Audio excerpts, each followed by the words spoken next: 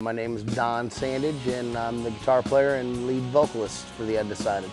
The current lineup in The Undecided is uh, myself, Don Sandidge, uh, Paul Steinbrook, uh, J.R. Engel, and Steve Tenen. Uh, this lineup's been together since 1991. Uh, 1977 I started playing. That was the first time I started playing music.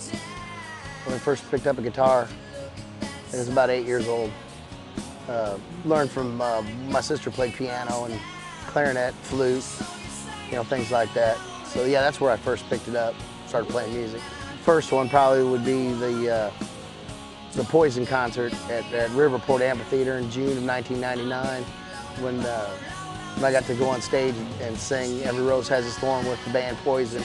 And uh, we enjoyed a real nice time backstage and some dinners and crazy rock and roll stories and whatnot and got to know the guys real well. That, that sticks out as being number one. Then let's see, how we came up with the band name. Uh, we got to go all the way back to early early July, July 4th, 1985, when me and uh, the high school buddies got together and formed a band. We had a different name, and when we got to perform uh, the first public show, which was at a church, they didn't quite like the name that we had, and uh, someone who was doing the flyers had come up with just the title undecided for the name of the band that was going to be opening up the main show.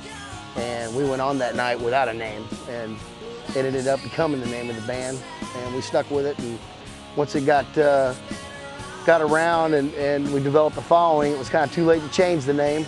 So we just, we are 26 years later with the same name. We, we, we tried to change it a dozen times, but nothing fit right, you know.